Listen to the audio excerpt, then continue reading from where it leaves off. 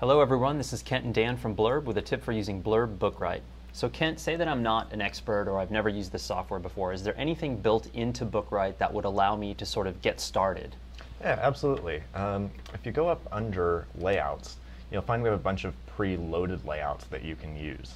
Uh, these include text layouts, photo layouts, as well as layouts for the front matter, and if you're doing a novel, we have layouts for that too.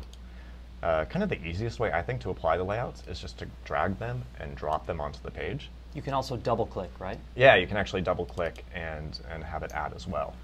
And uh, to show you how these work, uh, if you click Photos right here, um, you'll see that we have all our photos, and we can just drag our photo and drag it right onto the photo layout.